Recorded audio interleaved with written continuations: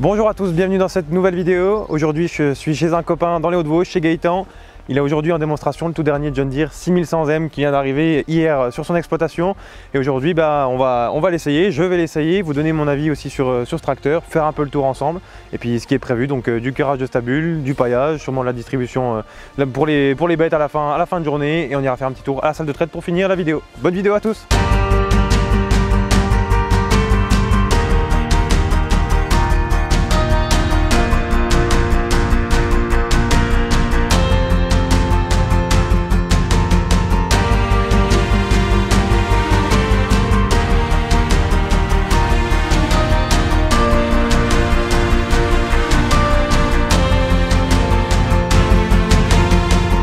Gaëtan vient d'ouvrir les barrières.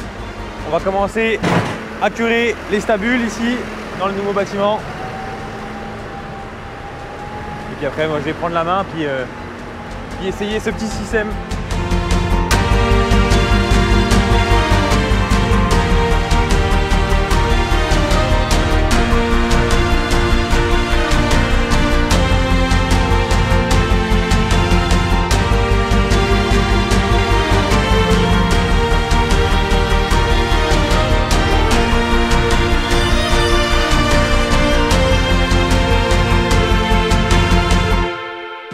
Bon ben voilà, dernier godet pour, euh, pour Gaëtan. C'était lui qui chargeait la, première benne sur le, petit T5. La petite Roland un essieu. Mon dernier godet là-haut. Donc du coup après moi pendant que Gaëtan il ira vider, euh, euh, je remettrai un peu le temps en place. Je parlerai un petit peu sur le tracteur, les différents, points techniques. Et puis après c'est moi qui prendrai la main pour, pour charger la dernière benne qui restera de, curage. Parce que du coup il y avait un peu, moins de deux bennes, un peu plus de deux bennes dans le bâtiment. Et donc euh, après, du coup, on ira essayer de mettre la benne sur le, sur le petit John et puis voir ce que ça vaut euh, sur la route.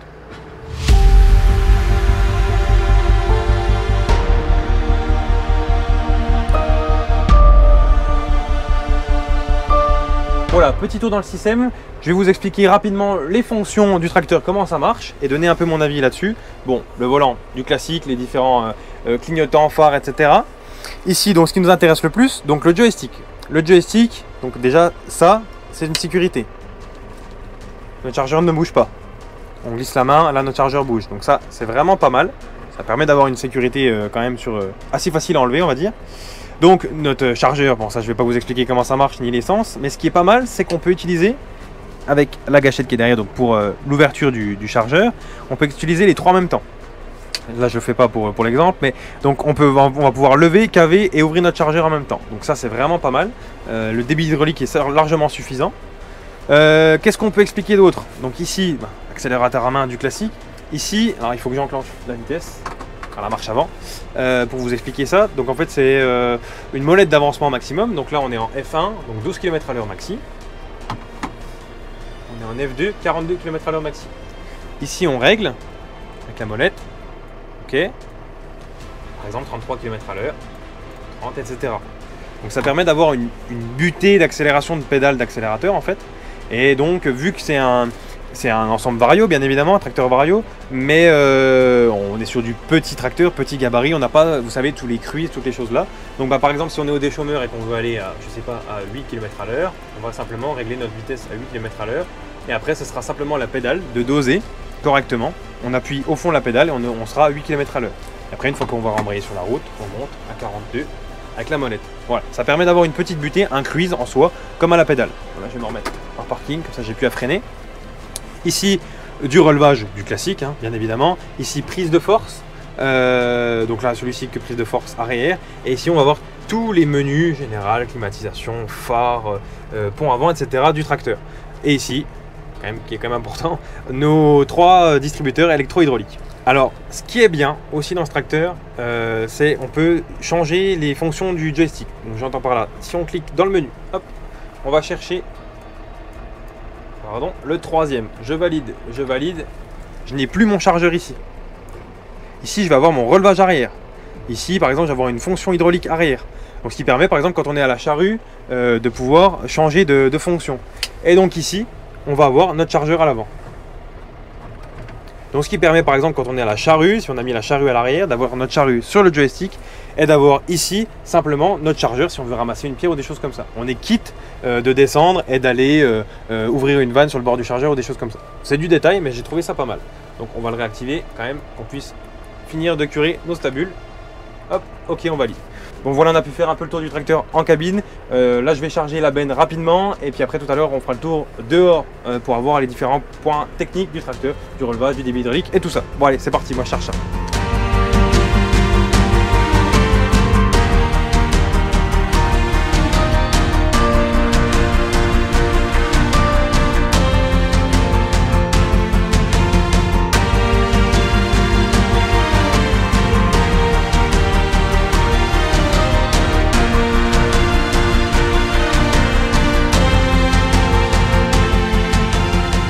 Bon voilà, le curage du bâtiment touche bientôt à sa fin, il reste plus qu'une benne à faire à peu près. Donc on va faire un petit peu le tour du tracteur rapidement, après, un essai, après avoir eu quelques, quelques infos. Donc 6100 M, 100 chevaux, puissance additionnelle de 20 chevaux, donc il peut monter jusqu'à 120 chevaux bien évidemment. Euh, monté en 38 à l'arrière, donc en Michelin.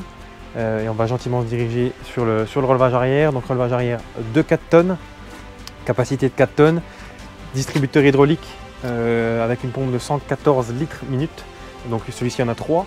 possibilité d'en avoir un quatrième juste ici. Euh, ici, qui attire l'œil, euh, réservoir à carburant additionnel de 30 litres. Donc c'est pas mal hein, pour, pour- les puissances là, 30 litres ça commence déjà à faire euh, quelques heures en plus. Ici, euh, suspension mécanique de cabine. Et puis après on va être sur, le, un, sur un- sur un arrière de tracteur classique. Et raccourci là-haut pour, euh, pour l'hydraulique, pour euh, le relevage, la prise de force, enfin tout ce qui va bien. Celui-ci donc est quand même bien équipé d'un point de vue éclairage, donc il a le, quasiment le, full, alors le full bien évidemment c'est le full LED, mais celui-ci il n'est pas en LED mais il a quand même tous les feux de cabine, tous les feux de maintien, euh, enfin de, ceinture, il y, a vraiment, il y a vraiment tout ce qu'il faut. Euh, de l'autre côté, ici, donc bah, notre fameux pot d'échappement avec tout ce qui va bien dedans. hein. Euh, quelque chose d'appréciable là-haut, les rétro grand angle, ça c'est quand même pas mal pour, une petite puissance dans les bâtiments, c'est vraiment sympa.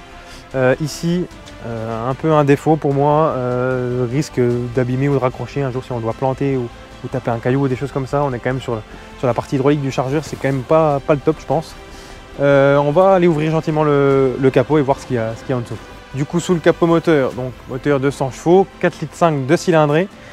Quelques points positifs, hein. ça, c'est aimanté. Et puis bah, ça vient tout seul. Donc pour faire l'entretien, c'est vraiment pas mal. Hop, il n'y a pas de clips, il n'y a pas besoin de clé.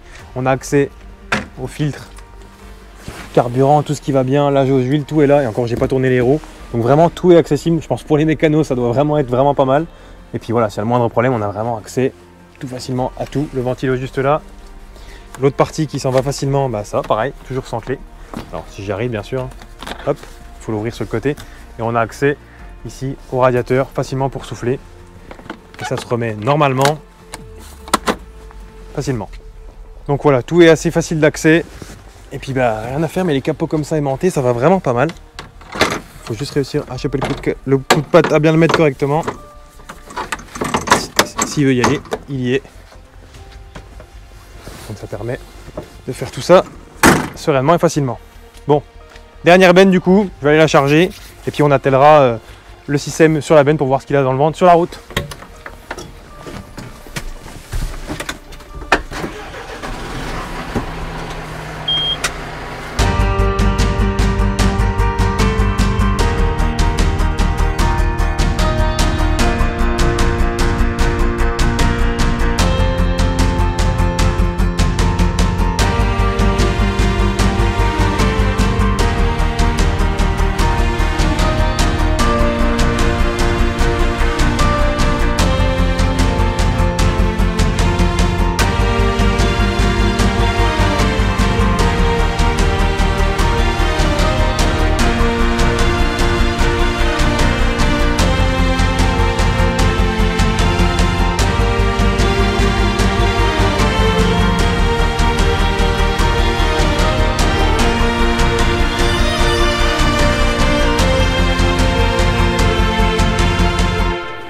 Ma petite conclusion euh, sur ce trajet de route.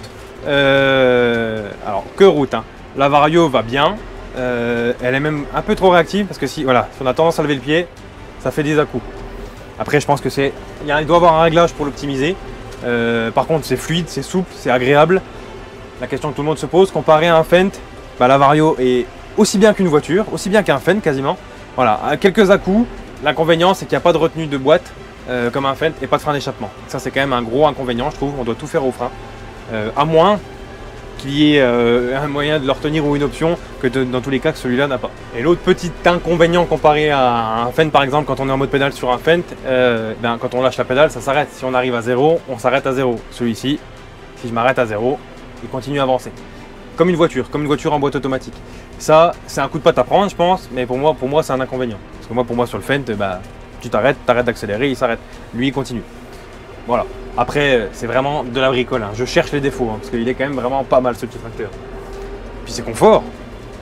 On n'est quand même pas sur une cabine euh, pneumatique, on est sur une suspension euh, mécanique et c'est quand même confort. hein. On arrive devant le tas, on va vider tout ça.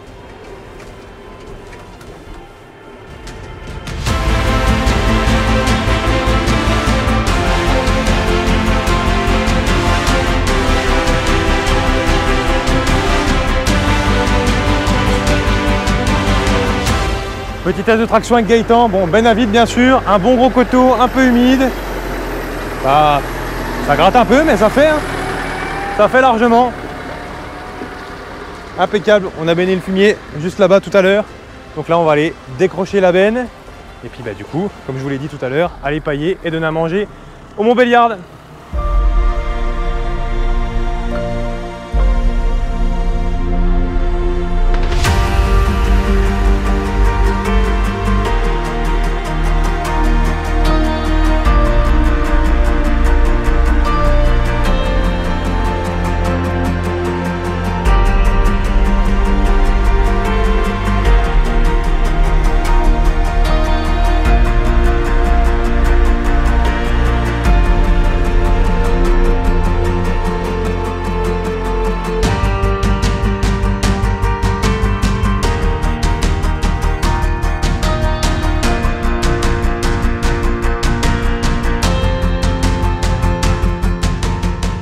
Bon voilà du coup la pailleuse est chargée donc c'est bien une botte enrubanée donc principal avantage hein, bah, c'est avec la pailleuse ça défibre déjà un petit peu la matière euh, de l'enrubané et puis bah un gain d'argent, pas besoin d'une deuxième machine euh, du coup pour, distribuer ou du coup bah, un gain de temps euh, parce que du coup ça va dérouler tout simplement et puis distribuer au bout de la goulotte donc ça va aller ça va aller tout seul.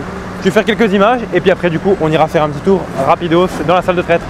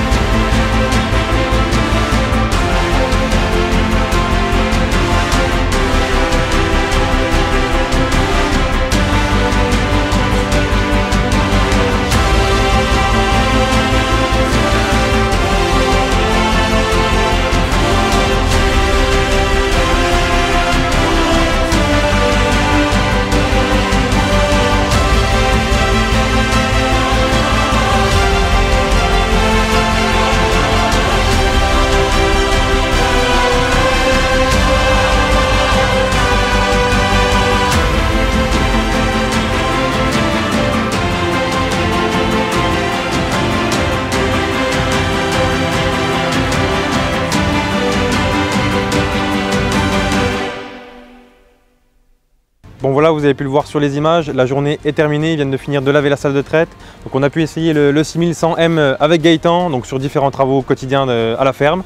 Donc bah, comme je vous l'ai déjà dit dans la vidéo, les points importants euh, positifs, la boîte Vario au top, confort euh, vraiment euh, au top aussi du, tracteur, euh, polyvalence, ça passe partout, ça braque super bien, un super bon débit hydraulique, quelques points améliorés, euh, on va dire je vous l'ai pas dit, mais la place en cabine, c'est un peu léger. Après, on est sur du tracteur d'élevage. Les boîtiers euh, hydrauliques euh, du chargeur qui sont juste derrière la roue pourraient avoir un cache quand même devant, parce que euh, s'il y a vraiment des problèmes, on risque d'abîmer ou vraiment que de créer une fuite. Petit tracteur qui me fait un appel de force, ça veut dire que c'est la fin de la vidéo. Dites-moi dans les commentaires si ça vous a plu et comme d'habitude, à très bientôt pour une prochaine vidéo. Ciao